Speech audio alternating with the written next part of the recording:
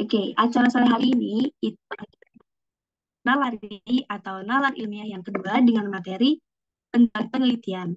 Kepada peserta uh, nalari diharapkan bisa mengisi pretest yang akan dikirimkan di uh, kolom chat Zoom ya. Waktu pretest selama 5 menit.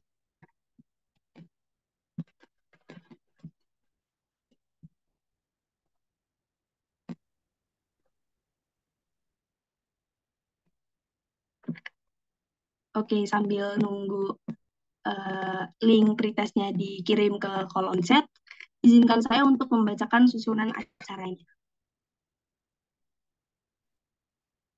Jadi yang pertama dia pembukaan oleh MC, yang kedua doa, yang ketiga pembacaan susunan acara, yang keempat pembacaan CV moderator, yang kelima moderator mengambil alih, yang keenam pembacaan CV pembicara, yang keenam sesi tanya jawab, yang kesembilan pemberian sertifikat kepada pemateri, yang ke-10 penyerahan kepada MC, yang ke-11 pemberian sertifikat moderator, yang ke-12 dokumentasi, dan yang terakhir ada penutupan oleh MC.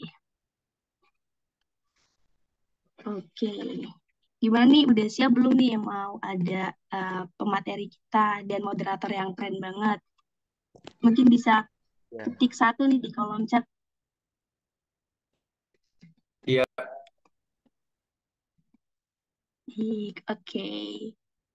Mungkin langsung aja kita sapa uh, kakak moderator yang keren. Ada Kak Ica Khairunisa. Halo, apa kabar Kak?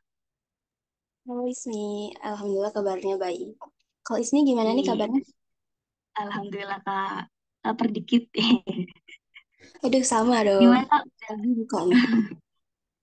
Udah siap belum jadi moderator di Nalari yang kedua ini? Siap banget dong pastinya. Apalagi teman-teman di sini juga udah pada rame dan semangat juga buat ikut nyimak materi yang akan disampaikan nanti. Wih, Alhamdulillah Kak. Semoga Kak Ica selalu dalam kondisi yang terbaik. Nah, selanjutnya saya akan membacakan secara singkat CV dari Kak Ica. Kepada operator mungkin bisa ditampilkan CV dari Kak Ica-nya.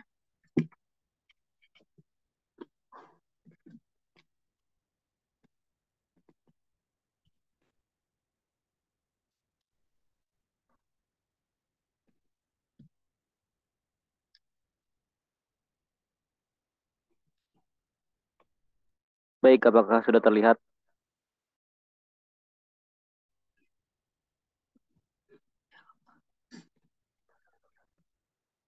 Sebentar.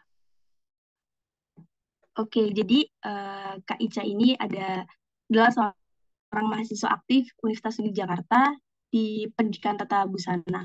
Nah, Kak Ica ini uh, mencari pengalaman dalam organisasi yang berorientasi kepada riset dan pengetahuan teknologi dalam fashion. Kaica juga bisa mengembangkan diri da ba baik dalam akademik dan non-akademik, serta meningkatkan keterampilan dalam mengolah proyek, memecahkan masalah, menganalisis trend fashion, dan penerapan ilustrasi digital. Nah, untuk pendidikan Kak Ica sendiri, Kak Ica uh, adalah alumni dari SMA Negeri 38 Jakarta di tahun 2021 dan uh, sebagai mahasiswa aktif sejak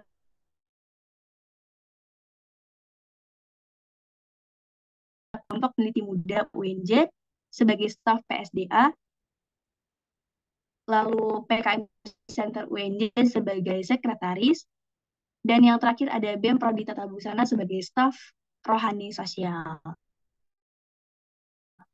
Dan yang terakhir itu uh, ada skill, achievement, dan experience lainnya.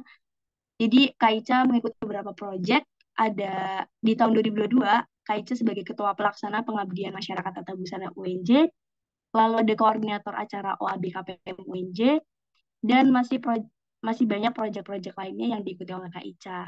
Dan achievement uh, yang diraih Kak Ica ada Gold Medal International Avicenna Youth Science Fair Tekno Teknologi kategori pada tahun 2022. Lalu ada Gold Medal International Science and Invention Fair Teknologi kategori pada tahun 2022 dan yang paling baru nih ada di tahun 2023 mahasiswa berprestasi 3 sarjana Fakultas Teknik Universitas Negeri Jakarta. Ih, keren banget nih CV dari Kak Ica. Semoga uh, nular-nular nih uh, suksesannya. Mungkin langsung aja uh, kepada Kak Ica dipersilakan memandu acara selanjutnya. Baik, terima kasih Ismi Eh, sebagai MC dan juga saya ucapkan juga kepada pembicara kita yang udah hadir, Kak Reza. Halo Kak Reza, apakah tersambung Kak? Halo Ica, suara aku kedengeran nggak?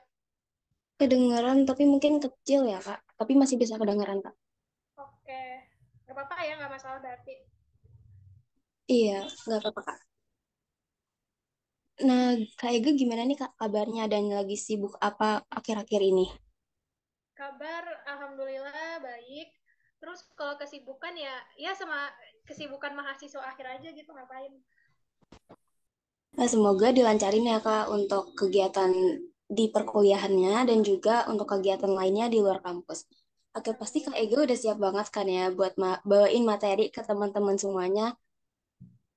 Ah, so tau Ica. Siap lah, siap. Ih, keren banget nih. Oke, sebelumnya aku mau bacain dulu nih untuk CV uh, pembicara kita yang keren banget Kak Ega.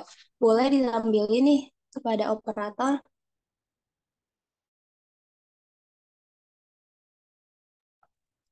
Oke, Kak Ega ini merupakan mahasiswa aktif satu bimbingan dan konseling 2019. Untuk pengalamannya juga Kak Ega uh, banyak mengajarnya ya. Di sini ada jadi guru BK di SMA Lab School Cibubur, kemudian pelatih KIR SMK 14 Jakarta, dan juga kepala divisi P2EK, pelatih KIR SMA Yapenda, dan uh, dan itu juga pengalaman-pengalaman yang keren banget nih, karena udah langsung ngajar.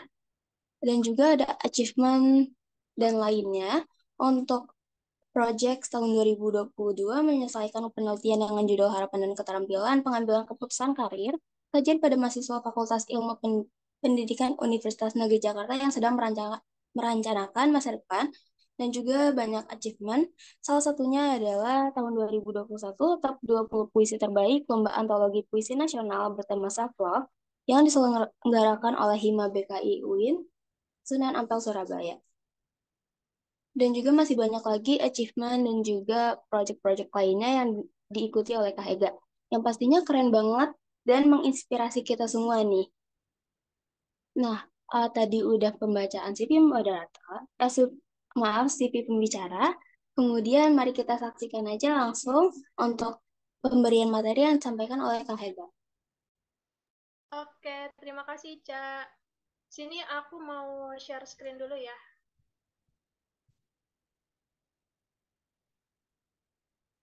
Sudah terlihat?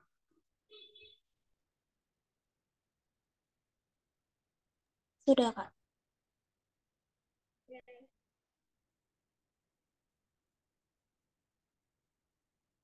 Ya udah terlihat ya. Jadi di nalari yang kedua ini aku diamanahin ya buat jadi pembicara dengan tema pendahuluan penelitian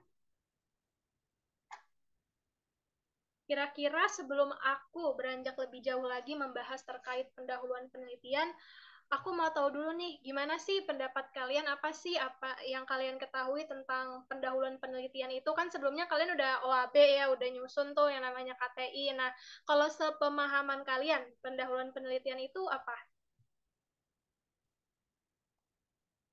Boleh ditulis di kolom chat aja ya, nanti biar aku baca.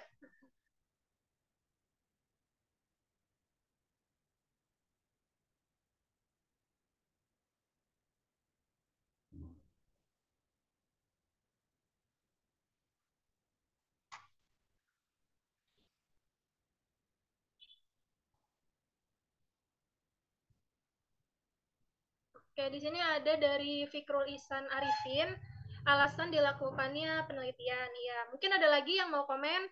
Oke, ini berat, ada dari Raihan, latar belakang dan rumusan masalah, urgensi topik yang diambil. Ya, buat yang lain kalau masih mau komen boleh. Jadi sebenarnya untuk pendahuluan penelitian kurang lebih sama ya seperti yang teman-teman kalian chat di kolom chat. Untuk lebih jelasnya, kita ke slide selanjutnya.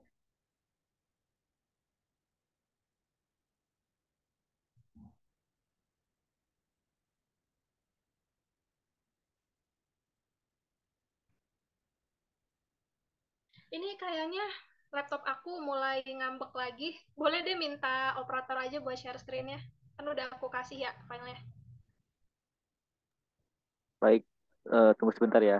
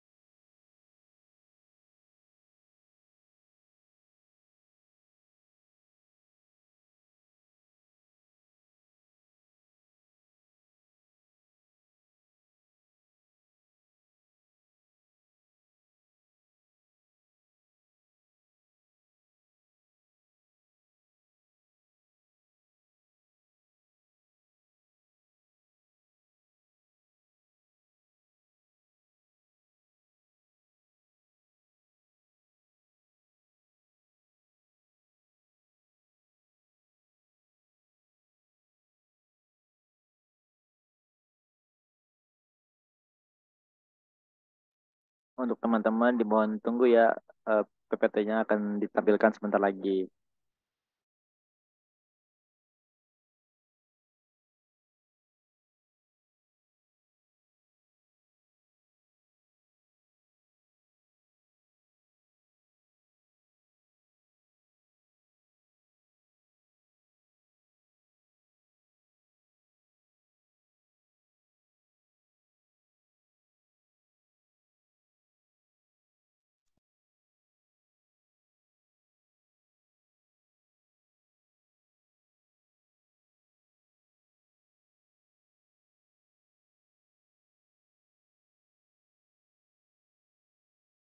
Oke, Cak. Boleh di next aja. Oke, di next. Nah, jadi di sini uh, pendahuluan penelitian itu merupakan bagian awal ya, ataupun uh, konten dari isi penelitian. Dan juga kalau menurut si Marmata sendiri, pendahuluan ini merupakan tempat peneliti untuk menyampaikan konteks penelitiannya, mulai dari ada rumusan masalah, ada kesenjangan literatur, ada tujuan penelitian, dan lain sebagainya. Dan untuk pendahuluan penelitian ini bisa dikatakan juga first impression penelitian kalian gitu. Jadi kira-kira penel sebuah penelitian ini menarik atau tidaknya itu berdasarkan di pendahuluannya. Kira-kira bagaimana? Oke, bisa di next. Untuk bagian pendahuluan penelitian ini umumnya itu ada enam ya, mulai dari latar belakang, identifikasi, pembatasan masalah, rumusan masalah, tujuan, dan manfaat.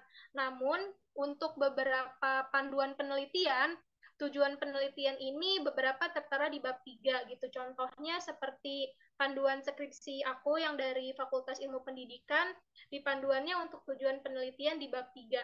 Jadi nanti pada saat kalian menyusun karya tulis ilmiah, diperhatikan kembali ya panduannya kira-kira apa saja urutannya, namun umumnya itu seperti ini untuk bagian-bagiannya.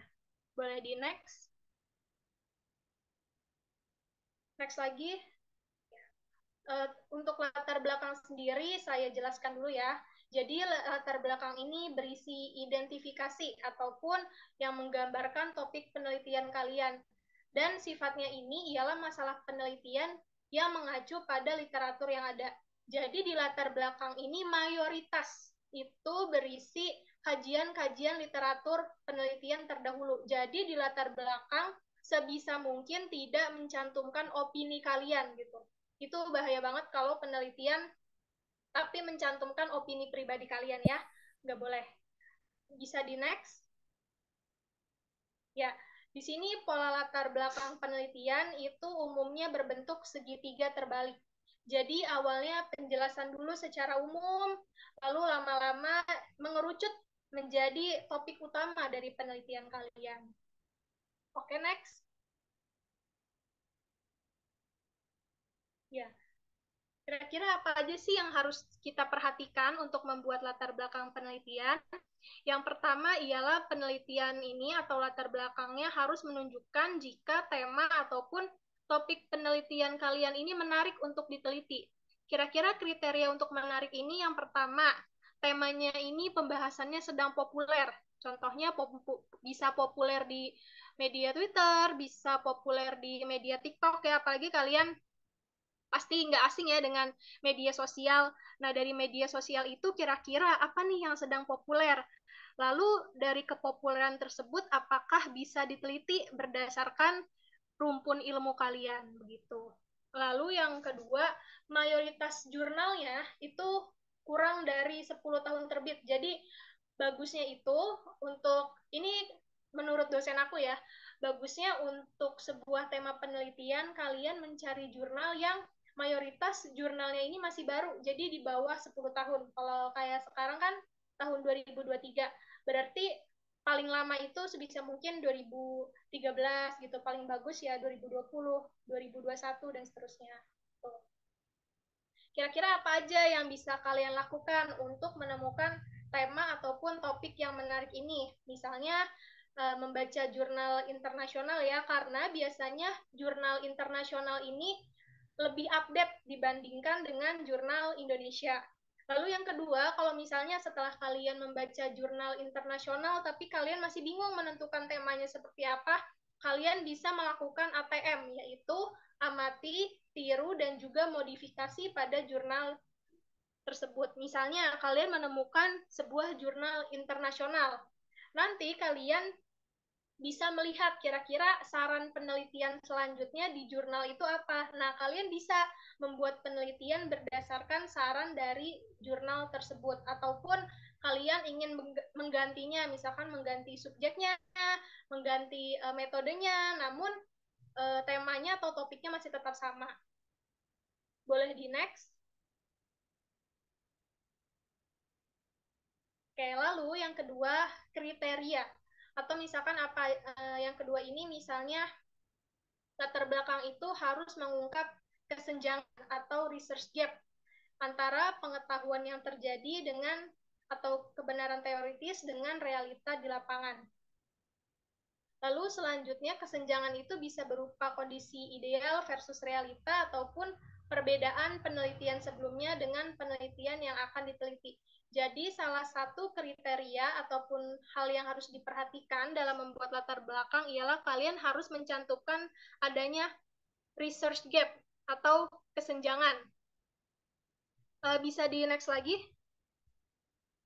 Ya, ini contohnya untuk kesenjangan antara kondisi ideal versus realita. Idealnya sendiri, guru BK bertanggung jawab pada perbandingan satu berbanding 150 siswa. Berarti idealnya ini guru BK, satu guru BK mengajar 150 siswa. Namun berdasarkan observasi yang telah dilakukan, ternyata guru BK di SMAC Jakarta, satu guru BK memegang 300 siswa. Otomatis itu sudah terlihat dong yang namanya kesenjangan. Nah, kira-kira di kesenjangan ini apa yang kita bisa lakukan? Misalkan membuat pengembangan media terkait program-program BK ataupun nantinya membuat media terkait website untuk konseling sehingga bisa memudahkan guru BK dalam melakukan screening dengan 300 siswa ini. Seperti itu. Lalu selanjutnya selain kondisi ideal versus realita untuk research gap ini bisa berupa perbedaan antara penelitian sebelumnya dengan penelitian yang akan kalian teliti. Contohnya misalnya perbedaan dari metode, lalu juga um, perbedaan melalui subjek penelitian. Namun ketika kalian ingin membuat perbedaan, misalnya ingin perbedaan terkait metode, berarti kalian harus mencari metode tersebut gitu ya. Nggak bisa yang namanya kalian asal cantumin perbedaan penelitian terdahulu dengan penelitian kalian, misalkan metodenya ini. Harus dijelasin kenapa kalian pengen pakai metode itu. Boleh di next? Oh iya, aku kalau ngejelasinnya kecepatan kasih tahu aja ya. Di sini yang selanjutnya ialah masalah penelitian muncul dari studi pendahuluan atau observasi awal. Di sini eh, aku cantumkan beberapa sumber dari studi pendahuluan, bisa kalian baca sendiri ya. Boleh di next. Oke, di sini ada beberapa hal yang bisa mengungkapkan jika sebuah fenomena ini bisa menimbulkan permasalahan. Yang pertama tentunya adanya kesenjangan atau research gap antara teori dengan realita di lapangan. Seperti contoh yang udah aku sebutkan sebelumnya ya. Lalu yang kedua ialah hasil penelitian saling bertentangan. Maksudnya hasil penelitian yang saling bertentangan ini misalkan ini dalam artian jurnal ya, bukan skripsi. Misalkan jurnal berdasarkan penelitian si Mawar itu menunjukkan jika uh, X memberikan pengaruh terhadap Y karena apa. Namun menurut penelitian anggrek ternyata X ini tidak memberikan pengaruh. Nah, karena adanya hasil penelitian yang bertentangan ini, kalian bisa juga membuat penelitian kira-kira misalkan membandingkan dua metode seperti itu. Boleh di next. Nah, di sini saya mencantumkan kira-kira poin-poin apa aja yang harus ada dalam penyusunan latar belakang. Misalnya, eh, ini saya pakai contoh penelitian mahasiswa BK ya. Misalnya contoh penelitiannya pengembangan website bantu diri untuk meningkatkan optimisme menggunakan teknik acceptance and commitment therapy pada siswa di SMAC. Nah, tadi sebelumnya saya udah jelasin kalau uh, salah satu cara ataupun pola dari latar belakang masalah ini segitiga terbalik ya. Boleh di next? Next terus aja sampai nanti paling bawah ada. Uh, kelewat. Okay. Jadi poin-poinnya yang harus disusun setidaknya ada di sini ya, misalkan yang paling umum itu optimisme dan perannya bagi masa depan.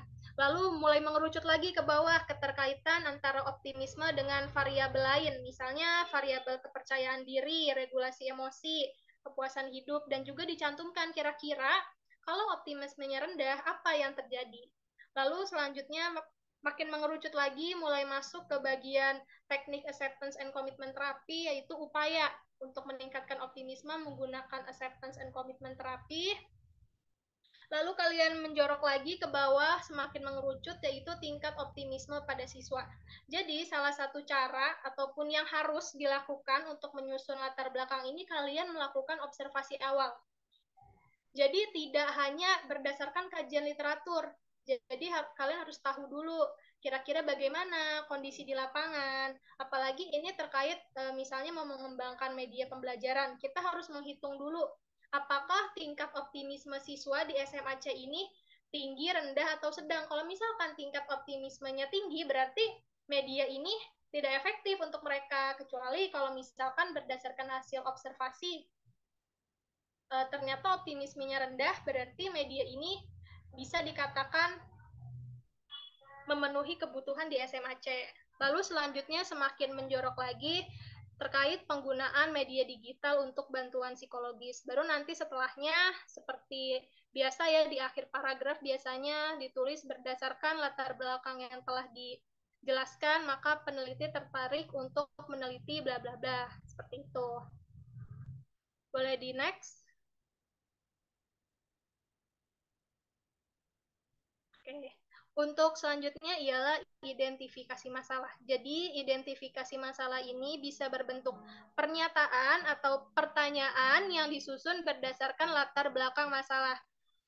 Jadi, untuk identifikasi masalah ini juga disesuaikan dengan panduan, karena ada beberapa panduan yang mengatakan identifikasi masalah bentuknya pernyataan, bukan pertanyaan, tapi ada lagi yang mengatakan berbentuknya pertanyaan, bukan pernyataan gitu ya. Nah, di sini ada beberapa contohnya. Aku pakai contoh yang berbentuk pertanyaan ya. Yang sebelumnya kan judulnya pengembangan website bantu diri ya. Nah, berarti yang pertama ialah bagaimana gambaran optimisme, lalu yang kedua bagaimana efektivitas ACT, lalu yang ketiga ialah bagaimana mengembangkan media bantu diri. Dan untuk identifikasi masalah ini sebenarnya enggak semuanya poin-poin di latar belakang masalah kita cantumkan di identifikasi masalah. Jadi kalian cantumkan aja beberapa poin-poin intinya gitu ya yang sebagai perwakilan dari judul kalian seperti itu. Boleh di next. Selanjutnya ialah untuk pembatasan masalah. Ya, jadi pembatasan masalah ini bentuknya pernyataan yang membatasi penelitian kalian supaya tidak keluar dari topik utama penelitian.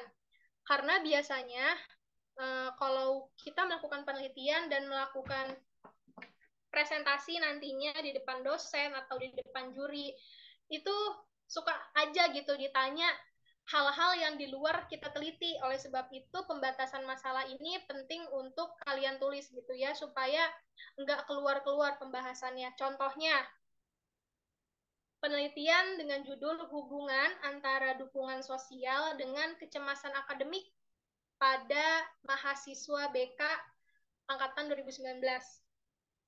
Dan ternyata setelah dilakukan hasil uji analisis, diketahui jika hubungannya sebesar 20%. Nah, berarti ada 80%-nya lagi yang tidak diteliti. Nah, berarti fokus penelitian kalian hanya tertara pada dukungan sosial dan juga kecemasan akademik seperti itu. Untuk variabel-variabel lain yang 80% ini di luar penelitian seperti itu.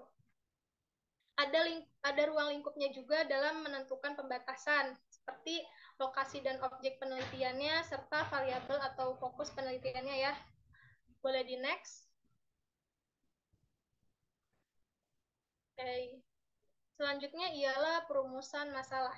Jadi rumusan masalah ini berbentuk biasanya berbentuk pertanyaan yang harus dijawab dengan penelitian.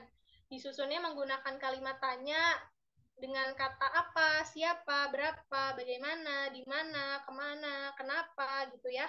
Boleh di next untuk lihat contohnya. Nah, di sini untuk identifikasi rumusan nanti tujuan, aku contohnya sama ya. Jadi kalian nantinya kalau dapat PPT ini nggak bingung.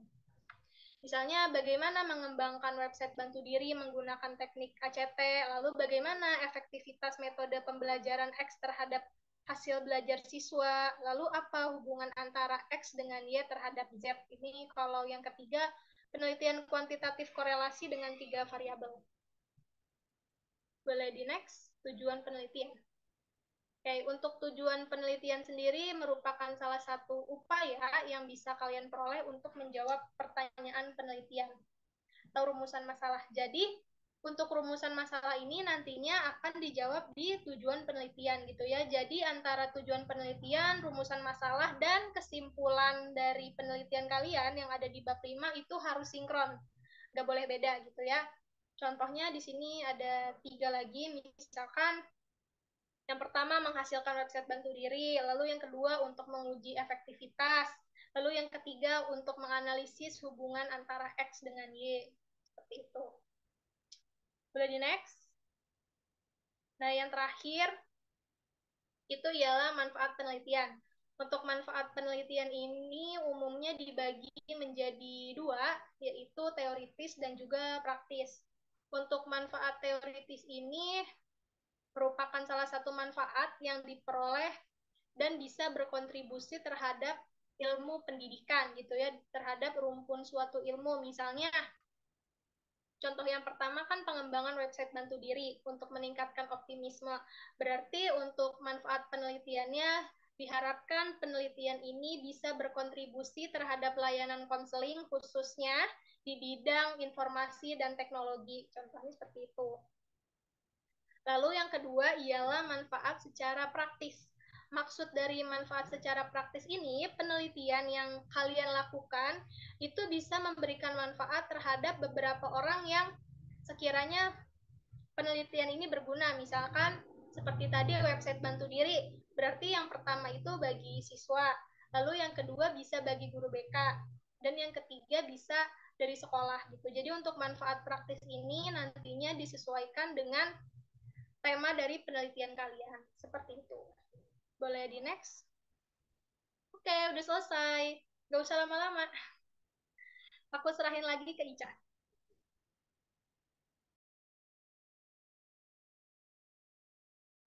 Nah, tadi eh, materinya juga keren banget ya yang dibawain. Kan pasti kita bakal ngadepin nih yang namanya pendahuluan penelitian dulu sebelum ngelakuin penelitian. Ada latar belakang, rumusan masalah, tujuan, dan lain-lainnya. Tadi yang udah disampaikan sama Kak Hega bakal berguna banget buat kita, apalagi tadi dikasih contoh-contohnya juga biar kita tuh nggak bingung. Nah, untuk teman-teman yang masih bingung nih, atau masih ada pertanyaan tentang uh, penelitian yang udah mulai dirancang, bisa banget nanya ke Kak Ega, bisa lewat chat ataupun Raisen ya.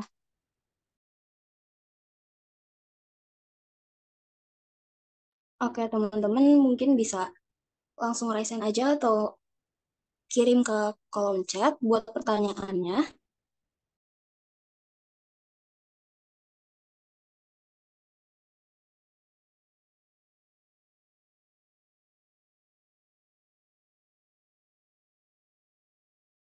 Nah, baik Rehan. Bisa langsung unmic aja nih Rehan buat nanya. Oke, terima kasih Kak Hega telah eh, memaparkan materi yang bagus, yang bagus tadi, yang cukup uh, cukup membuat saya paham akan tentang penelitian dan pendahuluan bagian bab satu ini. Nah, pertanyaan saya itu kan tadi kan dibahas tentang penelitian yang di dibuat itu harus uh, populer ya. Nah, pertanyaan saya itu apakah penelitian itu boleh dilak boleh mengambil suatu topik yang tidak terkenal tapi unik gitu. Unik tapi bar dan baru juga gitu, Kak. Tapi nggak populer gitu, Kak. Apakah boleh begitu nggak, Kak? Terima kasih. Oke, Raihan, makasih ya udah nanya. Di sini aku coba jawab. Jadi sebenarnya uh, salah satu lagi yang bisa kalian jadikan topik penelitian itu seperti yang Raihan tadi bilang ya, yang apa tadi temanya yang dia nggak populer tapi unik ya? Iya benar kak.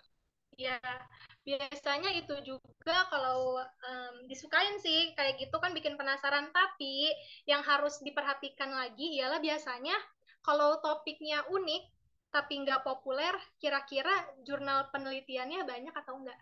Gitu. Itu yang harus diperhatiin karena kalau misalkan jurnalnya sedikit, kalian juga yang akan susah gitu. Jadi sebaiknya sebelum menentukan topik atau benar-benar fix mau ngambil topik yang itu, cari dulu kira-kira jurnalnya banyak atau enggak gitu. Karena jujur ya, teman-teman aku nih yang lagi pada nyusun skripsi, mereka juga pilih tuh beberapa topik-topik yang benar-benar asing dan itu unik banget gitu ya. Tapi ternyata jurnalnya susah dicari gitu. Jadi kalian juga harus memperhatikan kira-kira jurnalnya banyak atau enggak gitu. Oke deh, makasih Kak Hega. Ya, Rehan, apakah sudah terjawab tadi, Rehan? Sudah Kak, sudah Kak. Terima kasih Kak. Oke, terima kasih juga Rehan. Untuk selanjutnya bisa langsung ditanya aja ya. Bisa raisen ataupun di kolom chat. Ya. Sambil nunggu yang nanya, aku juga mau nanya sih Kak. Tadi kan uh, Kak Ega sempat bilang kalau di latar belakang tuh harus memuat fakta.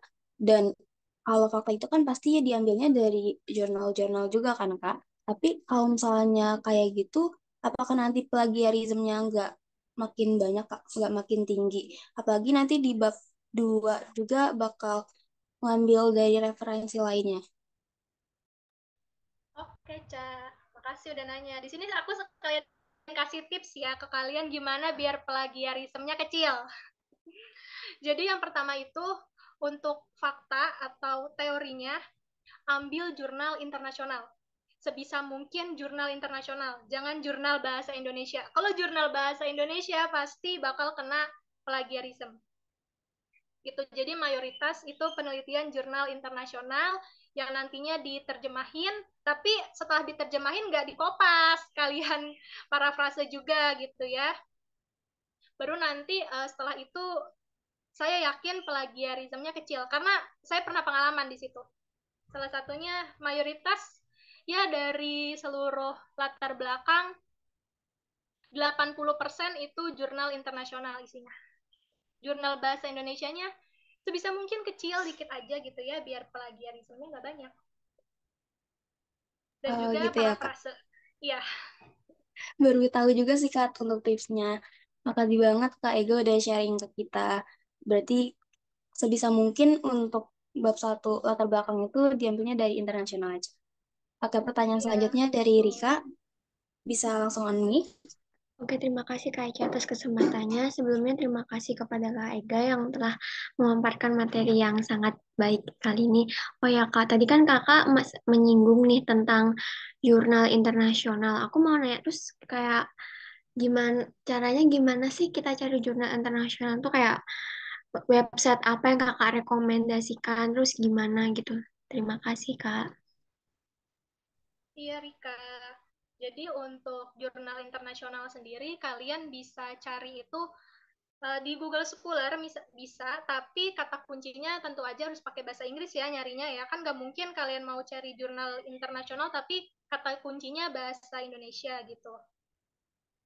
Terus salah satu website yang paling sering aku kunjungi ResearchGate.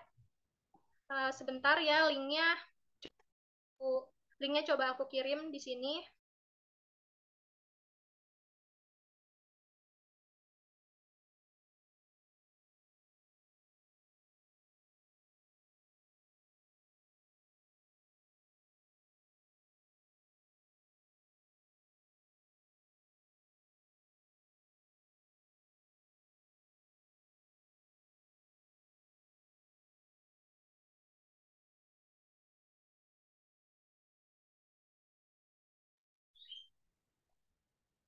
Oke, aku kirim ya. Salah satunya.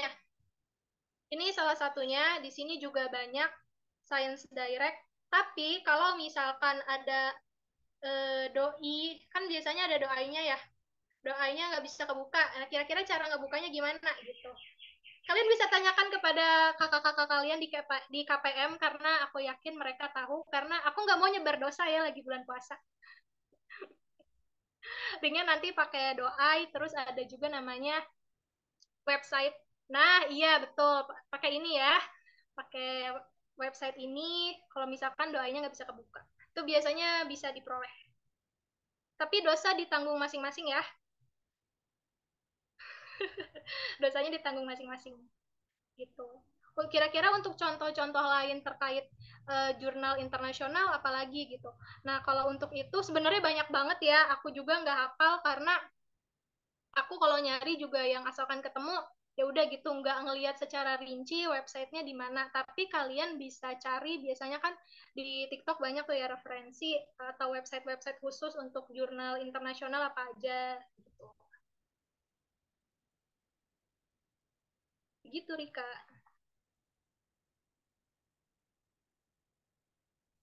Oke, baik Kak Ega atas, uh, atas jawabannya. Untuk Rika, apakah sudah terjawab tadi? Sudah Kak, sudah. Terima kasih. Terima kasih Rika. Oke, selanjutnya ada pertanyaan yang masuk ke kolom chat aku. Untuk pertanyaannya nih Kak, kalau misalnya ngutip uh, dari orang itu harus diparafrase atau enggak nih Kak? Kalau misalnya diparafrase kan berarti udah uh, bukan kata-kata resmi dari penulisnya, tapi kalau misalnya nggak diparafrase ntar ke detect sebagai plagiarisme juga. Menurut Kak Ega gimana untuk cara ngatasinya? Oke, terima kasih. Jadi sebenarnya terkait uh, parafrase ya atau kutipan langsung dan kutipan tidak langsung nantinya disesuaikan lagi dengan panduan. Jadi benar-benar kalian harus menyesuaikan dengan panduan karena ada beberapa panduan yang harus ada kutipan langsung dan juga ada beberapa panduan yang nggak boleh kutipan langsung gitu. Nanti plagiarismenya besar gitu. Contohnya di prodi aku itu nggak boleh yang namanya kutipan langsung. Kita harus benar-benar parafrase biar uh, si nanti ketika di plagi di tes plagiarismenya tuh nggak tinggi gitu. Tadi gimana caranya ya cak? Biar nggak tinggi Gimana caranya? Ialah yang pertama, ketika kalian membaca teori atau jurnal penelitian, kalian benar-benar pahami kira-kira maksud dari teori atau hasil penelitian di jurnal itu apa gitu. Dan nanti setelah kalian paham, kalian tahu maksudnya gimana, baru kalian tulis berdasarkan pemahaman kalian. Jadi yang namanya parafrase itu nggak selamanya tentang perubahan keseluruhan gitu. Misalkan awalnya kalau dari teori utama itu subjek, predikat, objek gitu. Dan nanti kalian parafrasenya bisa objeknya yang paling depan atau predikatnya yang paling depan, subjeknya di belakang seperti itu. Dan itu nggak apa-apa, nggak masalah.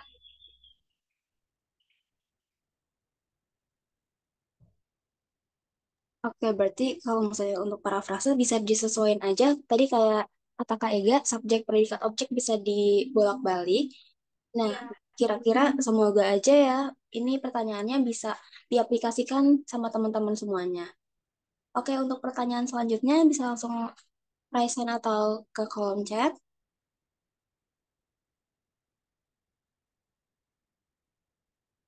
Kayaknya teman-teman di sini udah pada paham sih, Kak. Tapi pasti ada juga nih yang belum paham. Gak apa-apa, ditanyain aja ke Kak Ega sekarang.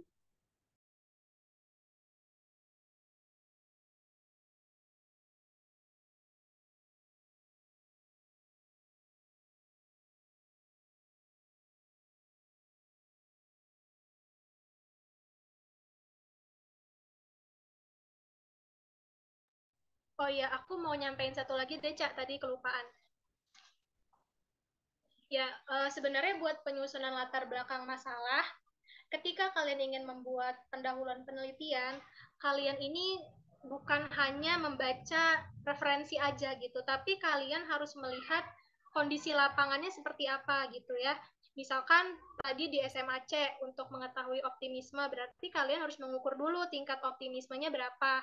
Lalu nanti misalkan terkait penelitian hubungan antara dukungan sosial dengan kecemasan akademik. Berarti kalian harus sebar form dulu tuh ke siswa. Kira-kira bentuk dukungan sosial yang mereka dapatkan apa? Misalkan dari keluarga atau dari teman gitu. Lalu kalau mereka cemas secara akademik apa yang terjadi pada mereka gitu. Jadi hal-hal seperti itu juga harus ada di latar belakang seperti itu ya. Oke, berarti untuk itu bisa sebar angket juga kan ya Kak, yang tadi dibilang form kayak gitu. Iya, Ca, dan itu hukumnya wajib. Gitu, biar uh, kita punya alasan secara saintifik kenapa kita pilih lokasi ataupun sub subjek penelitian di sana. Gitu ya. Terima kasih banget nih Kak untuk ilmunya lagi yang udah di-sharing. Pasti teman-teman di sini udah banyak pahamnya, cuman kalau misalnya ada yang mau dipah ditanya lagi biar paham, itu bisa banget nih langsung tanya sekarang. Untuk teman-teman bisa langsung on, on mic aja ataupun ke chat Zoom.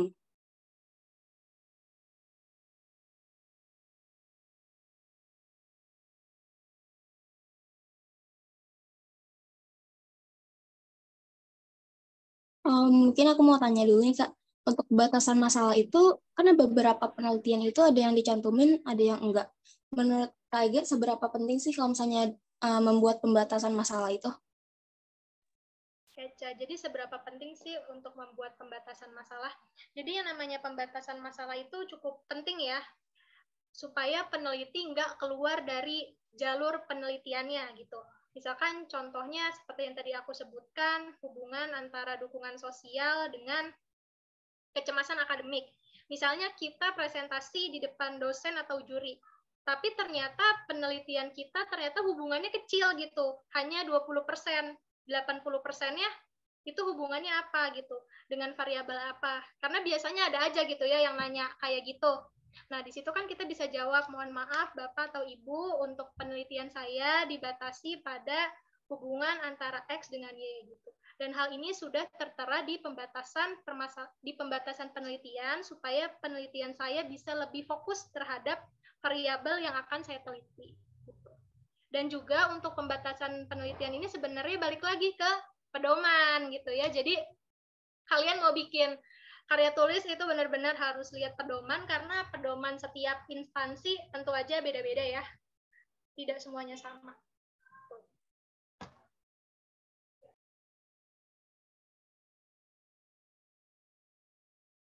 Oke, makasih banyak Kak Ega. Sama ini sih Kak, mungkin dari teman-teman, termasuk aku juga, banyak yang bingung nih nentuin judul. Kayak misalnya, kalau sosial tuh bisa analisis, gambaran, kemudian uh, pengaruh. Menurut menurut Kak Ega itu kan penting banget ya Kak untuk nentuin nantinya diambil datanya dan juga metodenya. Kalau misalnya yang sering dipakai nih dalam penelitian BK itu apa aja Kak? Dan saran Kakak lebih baik tuh kayak gimana untuk judulnya? uh, maksudnya penelitian yang paling umum dilakukan gitu. Iya kak, pasti kan di sini ada yang bingung mau pakai judulnya tuh gambaran atau uh, pengaruh atau analisis gitu kak. Uh, iya iya. Jadi sebenarnya dari judul nih ya, dari judul itu akan menentukan metode penelitian yang akan kalian lakukan. Misalnya kalau penelitiannya gambaran, itu bisa jadi kualitatif, bisa jadi kuantitatif, deskriptif gitu. Nggak mungkin penelitian R&D tapi judulnya gambaran. Gitu ya. Terus juga misalkan analisis. Analisis ini bisa kuali juga, bisa kuanti juga. Tapi untuk pengaruh, biasanya mahasiswa nih suka kebalik antara pengaruh dengan penelitian hubungan. Padahal dua hal ini berbeda. Biasanya kalau penelitian hubungan ini kan korelasi ya. Kalau pengaruh itu apa gitu, aku lupa namanya. Tapi yang jelas kalau hubungan ini antara X dengan Y, mereka saling terhubung. Misalkan X memberikan hubungan terhadap Y, dan Y memberikan hubungan terhadap X. Tapi kalau pengaruh, si X ini memberikan pengaruh terhadap Y, tapi Y tidak dipengaruhi sama X. Seperti itu. Dan itu kira-kira tahunya dari mana, Kak? Kita bisa tahu kira-kira harus bikin hubungan atau bikin pengaruh penelitian kita ya cara satu-satunya ialah baca. Harus rajin baca gitu. Misalkan teori terkait dukungan sosial. Aspek apa aja yang mempengaruhi dukungan sosial gitu. Kalian bisa baca dan dari aspek-aspek itu bisa ah ini kayaknya bisa nih dijadikan variabel y-nya gitu. Kira-kira tepatnya pengaruh atau hubungan ya. Misalkan ternyata kecemasan akademik. Nah kalian baca tuh teori kecemasan akademik kira-kira aspek yang mempengaruhinya apa aja. Misalkan ternyata oh ada nih aspek dukungan keluarga atau dukungan sosial ternyata bisa mempengaruhi kecemasan akademik. Nah, berarti mereka kedua, kedua variabel ini bisa dijadikan judul hubungan antara dukungan sosial dengan kecemasan akademik. Seperti itu.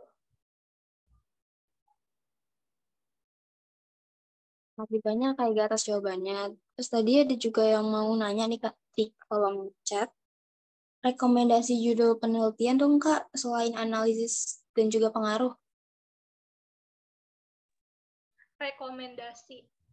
Bisa studi kasus, bisa juga pengembangan pengembangan media karena biasanya saya nggak tahu ya kalau misalkan di dosen-dosen fakultas lain gimana tapi kalau di dosen di prodi saya dan juga di fakultas saya berdasarkan yang saya dengar dari teman-teman itu dosen lebih suka penelitian yang menghasilkan gitu jadi produknya ini kelihatan gitu bentuk produknya kelihatan kan kalau misalkan kalian penelitian hubungan, penelitian pengaruh X dengan Y, itu kan hanya adanya teori ya, misalkan berapa persen gitu hasilnya. Tapi kalau kalian menghasilkan sebuah produk, ini lebih ibaratnya lebih ada nilainya gitu. Tapi nggak bukan berarti penelitian hubungan jelek, penelitian pengaruh jelek ya, karena untuk pengembangan produk juga itu di berdasarkan pada penelitian hubungan dan juga pengaruh. Jadi untuk saran-saran judul sebenarnya balik lagi ke temanya atau topiknya mau seperti apa, tapi kalau berdasarkan pengalaman aku biasanya eh, orang-orang itu, sorry biasanya dosen aku lebih suka penelitian pengembangan karena ada bukti produknya gitu. Oke, terima kasih Kak. Selanjutnya ada pertanyaan dari Bang Ucup juga kalau misalnya penelitian pengembangan itu masuknya ke kuali atau kuanti, Kak? Oke, Ucup. Terima kasih. Oke, untuk penelitian pengembangan. Jadi sebenarnya untuk penelitian pengembangan ini yaitu R&D ya. Kalau di KPM itu biasanya R&D. Jadi pendekatannya ini R&D gitu. Dan untuk analisis datanya bisa dilakukan secara kuantitatif dan juga kualitatif. Karena kan tahap pertama itu biasanya analisis dulu ya. Dan di analisis ini kan kita bisa secara kualitatif membaca referensi-referensi ataupun secara kuantitatif misalnya instrumen kebutuhan media gitu. Lalu nanti setelah produknya selesai kita harus uji ahli. Nah, untuk uji ahli ini tentu saja secara kuantitatif gitu. Jadi, untuk penelitian pengembangan ini antara kuantitatif dan kualitatif pasti ada di situ.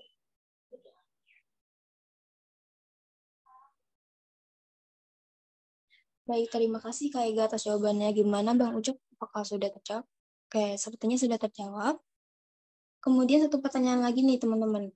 Yang masih mau tanya bisa langsung di chat Zoom aja ataupun langsung on mic aja ya.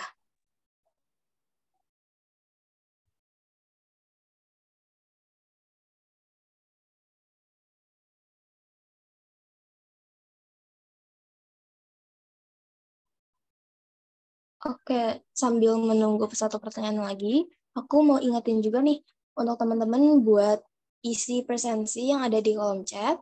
Mungkin nanti bisa dikasih lagi sama operator. Dan juga jangan lupa untuk isi free test karena bakal ditunggu sampai malam ini jam 22. Dan nantinya juga akan ada post test buat dapetin sertifikat juga nih. Jadi untuk dapat sertifikat yang pastinya isi pretest, post test, dan juga presensi. Oke, apakah ada lagi nih yang mau nanya ke Kak Ega?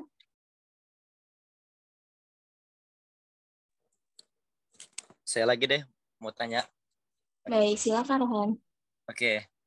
Uh, sebenarnya sih ini semacam kayak konsultasi gitu.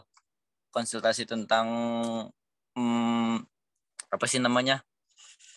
Judul. Nah, ya judul ini contohnya misalnya kayak gini nih, Kak uji komparatif antara kepercayaan diri mahasiswa dengan siswa menengah atas itu bisa nggak kak dijadiin uh, suatu penelitian gitu?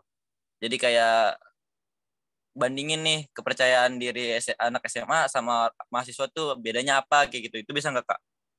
Dan itu apa penelitiannya masuknya ke mana? Kuantitatif atau kualitatif gitu kak? Makasih kak.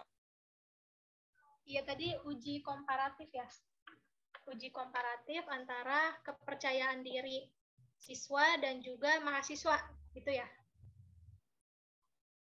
Iya benar kak. Oke, untuk ini sebenarnya bisa bisa aja dijadikan penelitian, apalagi uh, saat kalian masih belajar belajar ya belajar belajar penelitian untuk judul-judul seperti ini itu nggak apa-apa gitu. Uji komparatif terkait kepercayaan diri ini bisa dan masuknya ini ke kuantitatif setahu aku kalau uji komparatif. Tapi kalau misalkan teman-teman di sini punya pendapat lain, itu nggak apa-apa. Setahu aku dia ujinya uji kompar komparatif gitu ya, atau kuantitatif dan nantinya untuk kepercayaan diri ini pakai assessment ataupun instrumen terkait self confidence gitu. Jadi kamu harus cari tahu dulu nih kira-kira assessment terkait kepercayaan diri itu apa. Jadi sebisa mungkin ya teman-teman. Kalau misalnya kalian bikin penelitian untuk mengukur variabel X atau variabel Y kalian ini nggak nggak bikin instrumennya gitu tapi kalian ambil instrumen dari jurnal penelitian seperti itu. Karena kalau dari jurnal penelitian kita udah tahu tingkat validitas sama reliabilitasnya seperti apa. Sedangkan biasanya kalau mahasiswa bikin instrumen sendiri. Misalkan Raihan pengen tadi itu ya, kepercayaan diri. Misalkan Raihan udah cari nih instrumen kepercayaan diri. Ternyata nggak ada, nggak ketemu. Nah, kira-kira gimana caranya supaya bisa menggunakan instrumen kepercayaan diri? Raihan cari teori kepercayaan diri menurut siapa, Baru nanti di teori itu aspek-aspek kepercayaan diri apa aja. Misalkan aspeknya tiga. Nah, dari tiga aspek itu berarti Raihan bikin pertanya pernyataannya, item-itemnya. Tapi nggak sampai situ aja. Biasanya, jadi kan kalian masuknya ke membuat instrumen ya. Jadi biasanya setelah dari tiga aspek yang ada ini, satu aspek ini dibikin menjadi empat. Umumnya ini empat ya, karena kan aku juga belajar cara buat assessment, pengembangan assessment. Jadi satu aspek dibuat menjadi empat item pernyataan, jadi kan nanti 12 ya, totalnya 12. Nah, 12 item pernyataan ini, Raihan nggak bisa langsung disebarkan ke subjek penelitiannya, tapi Raihan harus uji coba assessmentnya dulu. Uji cobanya biasanya untuk satu nomor, untuk satu pernyataan itu harus diuji coba setidaknya empat orang. Berarti kalau 12, 4 dikali 12 berapa tuh? 88 ya. Berarti Raihan harus uji coba si asesmennya ini ke 88 orang dulu, lalu baru nanti bisa disebarkan ke subjek penelitiannya. Begitu. Jadi agak ribet, makanya sebaiknya kalian pakai assessment yang udah ada aja. Contohnya gimana Kak cari assessment yang udah ada? Kalian bisa klik di Google Scholar, misalkan tadi Raihan pengen kepercayaan diri, berarti ketik aja seperti ini. Self confident visioner atau scale.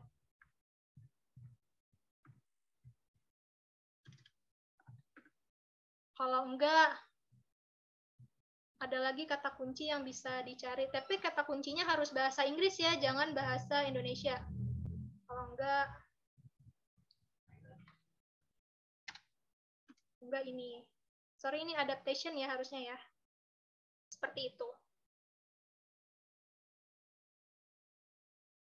Oke, Kak Ega. Tadi udah banyak banget ya yang dikasih tahu sama Kak Ega. Terus juga ada uh, di kolom chat juga bisa dilihat nih teman-teman semuanya. Dan karena waktunya udah habis, mungkin untuk pertanyaannya dicukupkan sampai sini aja. Dan semoga pertanyaan tadi terjawab ya Rehan. Dan juga ada sedikit kenang-kenangan nih untuk Kak Ega, yaitu sertifikat. Kepada operator mungkin bisa ditampilkan. Baik.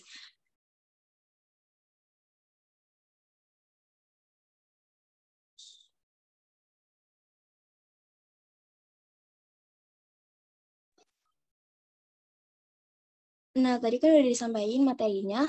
Gimana nih teman-teman? Pasti banyak banget insight insight yang masuk dari pemaparan materi tadi kan. Dan juga pastinya kita lebih paham nih tentang penelitian, terutama pendahuluan penelitian yang udah dijelasin tadi.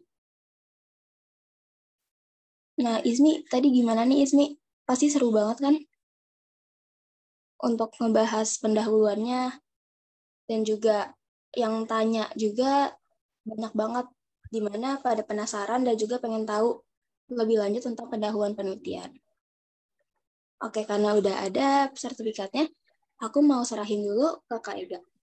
Sertifikat nomor 25, garis miring SER, garis miring IKPM UNJ, garis miring 3 Romawi, garis miring 2023, diberikan kepada Kaega Herawati APMM sebagai pembicara dalam kegiatan Nalari, Nalar Ilmiah Nasional 2, dengan tema pendahuluan penelitian yang diselenggarakan oleh kelompok peneliti muda Universitas Negeri Jakarta, Jakarta 31 Mei 2023, ditandatangani oleh Kepala Divisi PSDA, Kelompok Peneliti Muda, Tia Wahyunisi APMM, dan juga Ketua Umum Kelompok Peneliti Muda Universitas Negeri Jakarta, Yusuf Niko Pitranto APMM.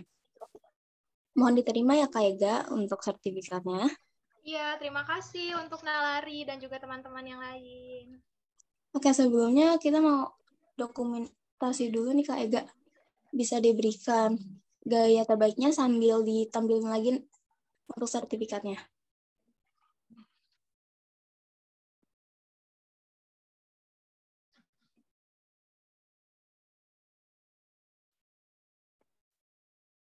Oke, kepada operator bisa tampilkan lagi. Baik. Untuk aba-aba, aku hitung dari satu, dua, tiga. Paham bentar, Kak? Ganti gaya dulu ya, kayak ganya. Satu, dua, tiga. Baik udah didokumentasi. Terima kasih banyak Kak Ega atas pemaparan materinya. Dan juga teman-teman jangan lupa untuk isi presensi dan juga pretest dan post-test. Untuk selanjutnya, saya kembalikan kepada Ismi selaku MC dalam kegiatan hari ini.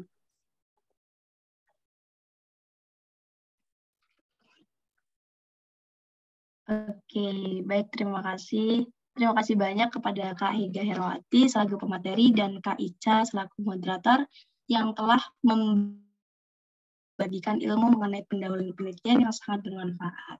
Oke, baik kita ke mata acara selanjutnya yaitu penyerahan sertifikat kepada moderator.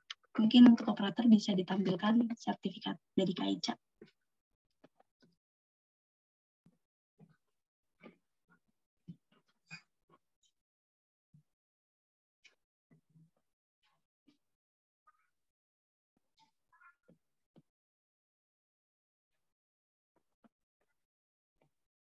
Oke, sertifikat dengan dengan nomor sertifikat uh, 025 garis miring ser garis miring E strip KPM UNJ garis miring 3 garis miring 2003 diberikan kepada Ica Khairunisa APMM sebagai moderator dalam kegiatan nalari atau nalar ilmiah yang kedua nasional dengan tema pendahuluan penelitian yang diselenggarakan oleh kelompok peneliti muda Universitas Negeri Jakarta. Jakarta 31 Maret 2023 yang ditandatangani oleh Ketua Umum kelompok peneliti muda Universitas Negeri Jakarta Yusuf Niko Fitranto dan ditandatangani oleh Kepala Divisi PSDA kelompok peneliti muda Universitas Negeri Jakarta Tiago Hyuningsi. Uh, kepada Kak Ica mohon diterima ya Kak sertifikatnya. Baik, terima kasih Nalari dan juga Ismi. Oke, mungkin uh, kepada operator bisa didokumentasikan terlebih dahulu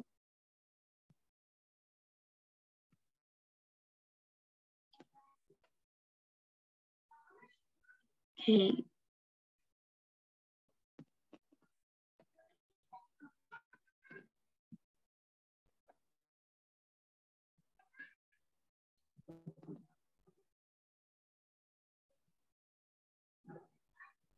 Mungkin uh, cukup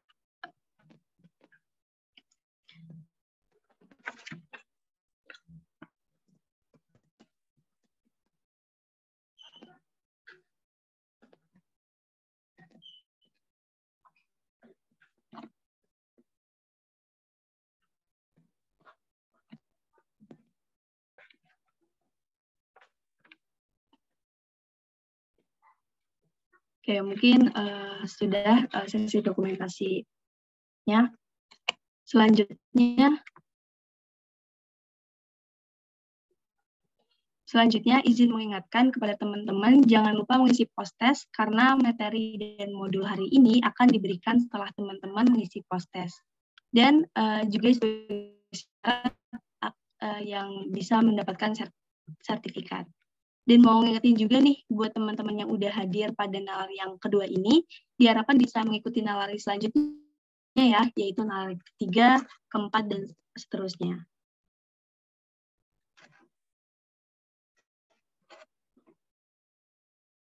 Oke, hari sudah semakin gelap, mungkin sesi selanjutnya adalah sesi dokumentasi.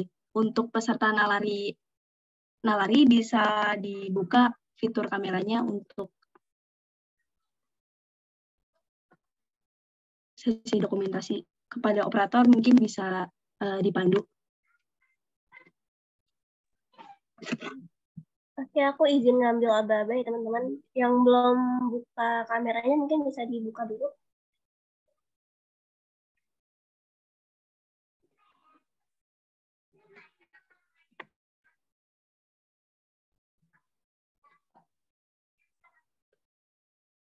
Oke, aku mulai. Satu, dua, tiga. Slide kedua.